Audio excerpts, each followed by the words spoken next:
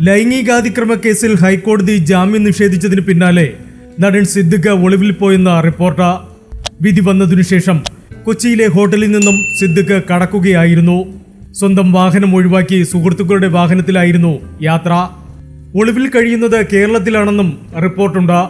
സിദ്ദിഖിന്റെ ഫോൺ പ്രവർത്തനരഹിതമാണ്. വിദേശത്തേക്ക് കടക്കുന്നത് തടയാനായി വിമാനത്താവളങ്ങളിൽ സിദ്ദിഖിനെതിരെ പോലീസ് ലുക്കൌട്ട് നോട്ടീസ് പുറപ്പെടുവിച്ചിട്ടുണ്ട്.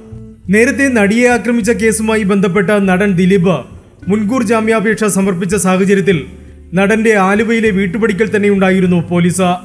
ജാമ്യാപേക്ഷ തള്ളുന്ന സ്ഥിതിയുണ്ടായാൽ ദിലീപിനെ അറസ്റ്റ് ചെയ്യാനായിരുന്നു നീക്കം. ദിലീപ് ഒളിവിൽ പോകുന്ന സ്ഥിതി ഒഴിവാക്കുന്നതിനും അന്നത്തെ പോലീസ് ശ്രദ്ധിച്ചിരുന്നു. എന്നാൽ ഇത്തരമൊരു ജാഗ്രത സിദ്ദിഖിന്റെ കാര്യത്തിൽ പോലീസിനുണ്ടായില്ല.